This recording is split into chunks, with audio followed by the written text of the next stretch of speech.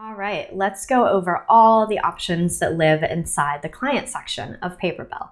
Now, clients is what it sounds like. All of the clients that have touched Paperbell will be listed here.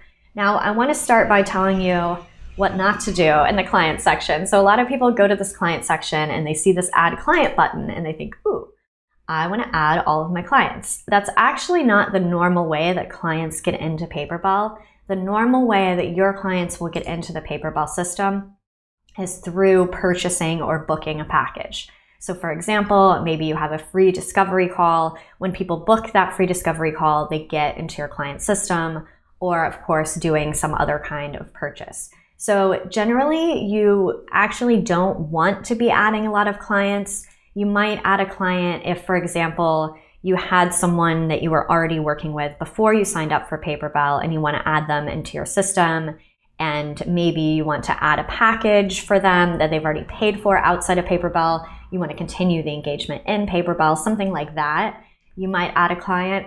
Um, or you could just give them, for example, a coupon code to make a package free because they've already paid for it, and you could do it that way. There's there's some different ways to do it. So this client section uh, lists all of your clients. Note that you can export a spreadsheet of all your clients, which is really cool if you ever need that data outside the system. Uh, there's also this send email feature in Paperbell that allows you to send an email either to an individual client or a group of clients. So you are able to email everyone in a certain package. To do that, you would select the package here, click search, and then after you've searched for it, it'll show you all the people in this package. And if you click send email up here, it will automatically send an email to everyone in that package, which is pretty cool. So now let's look for an individual client and show you all the options there. So I'm gonna search for my client's name, hit the search button, and then you'll see their profile come up. Uh, right off the bat, you can see this is a listing of when their next appointment is and how many appointments they have remaining. So I'm going to click on Jamie. What I see on this home screen is a great overview of when the next appointment is, how many appointments are left, and the total amount of money that Jamie has paid so far, as well as a little overview of his details. And you can click View All under any of these uh, to see the detail page. We'll look at them through the tabs here. Okay, let's explain these options up here. So what gift package does, it's a way to grant access to a package for free to Jamie. So again, you would really only use this if maybe Jamie's already uh, paid for a package outside of Paperbell, but now you want to continue that within Paperbell, you could gift the package. You can click here to send an email to Jamie if you want to do it through the Paperbell system. Modify allows you to modify Jamie's name, add in his phone number, if his email is incorrect, you can fix that here. If he tells you he wants a different time zone in Paperbell, you can fix that here. He can also do these things himself in his own Paperbell client profile. And if you click book appointment, this will take you straight to appointment booking for Jamie. So I would choose which of these packages I want to book the appointment for. In this case, I'm going to book them for the multi-session package, and then I can go ahead and book an appointment for me and Jamie in the Paperbell system. All right, let's see what else is in here. Okay, this appointments tab shows you both upcoming, in this case, this one is upcoming, and a history of all the appointments that you've ever had, which is pretty cool. Let's go to packages because there's actually a lot of options here in packages. So this shows you a list of all the packages that Jamie has purchased. It also allows you to make modifications to those packages just for Jamie. So this is important to understand the difference between the packages here and your overall packages tab. When I go to this packages tab up here, I'm modifying the packages for everybody, but sometimes you need to tweak something for just one client. So we'll talk about kind of what those use cases are. So let's look at this multi-session package for Jamie. I'm gonna click view on that. So you can see he's got four appointments total. He's used three. Uh, you can see all the historical stuff, the date that he purchased, the price that he paid. If there's multiple payments, it'll show you exactly when those were made. Uh, if he filled out a survey for this package, you'll see that there. Now let's look on this modify tab and see how you can modify this package. So what you can do in modify is change the number of appointments or the duration of the appointments. And let's talk about why you would do that. Let's say that you want to give Jamie an extra session. So instead of this package having four appointments, you could up it to five appointments. Or let's say that you ended up doing an appointment outside of PaperBell. Jamie called you one time and he's like, I really need to talk right now. You're like, okay, but this is going to count, you know, for one of our four sessions. He's like, that's fine. You did the call, but it wasn't reflected in PaperBell. So you would go into Jamie's profile, find this purchase, modify the purchase, and you'd say, okay, well, instead of having four appointments, now it just has three total appointments because we used one up, you know, outside the PaperBell system. And now all will be right in the world, right? If he only has, uh, let's say he had one left to book, now he will have none left to book because all three had already been booked.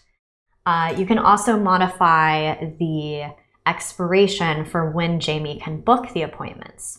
So let's say that Jamie bought this years and years ago. You're like, all right, Jamie, if you don't use up the appointments by October 31st, then the package expires then. You can modify this here. You also might want to do it the other way. So in your Paperbell settings, you can automatically set expiration dates for when clients can book their package. Let's say that Jamie's expiration date is coming up he only has a few weeks left to book and you want to extend that for him. You're like, okay, well, I'll give you another three months to use the packages instead of them expiring soon. You can change that right here. And delete purchase. Okay, I don't want you to do this very often, but I want you to know how it works. So delete purchase removes access entirely to this package. It will uh, stop any future payments that are coming up. It will also remove the ability for Jamie to book any future appointments.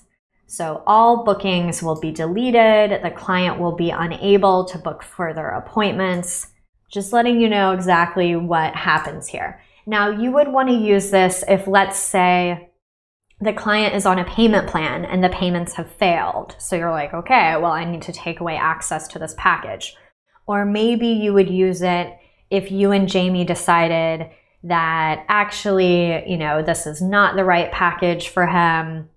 You're going to grant him access to a different package instead. You could delete him from this package or you could just modify the number of appointments down to zero. That's probably what I would do in that case because deleting is a little bit of a nuclear option. you know what I mean?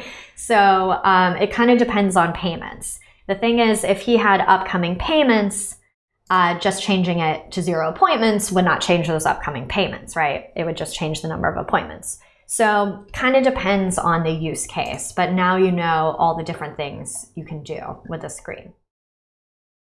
Okay, contracts is just going to show you uh, downloads of any contracts that have been signed. Surveys are where you can view Jamie's answers for any surveys that were associated with these packages.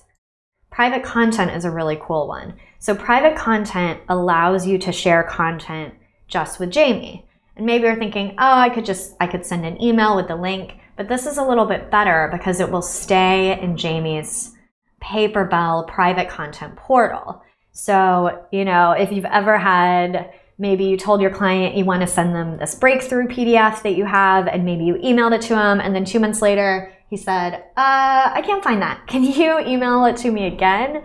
Uh, I don't know if that's ever happened to you. It's definitely happened to me. So if you use this private content feature, you can put it in their PaperBell portal. When they come back to you in a few months and they say, ah, I can't find that. Where did it go? You say, just check the PaperBell portal. It's all in there. So you can either add files here, you can add a link to any site on the internet. You can also embed videos here for Jamie to watch.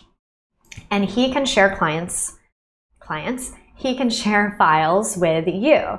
So if he goes into his PaperBell portal, he has the same option to upload content that he can share with you. So maybe you gave him some uh, homework to do, you know, a PDF to fill out. He could upload that for you to view.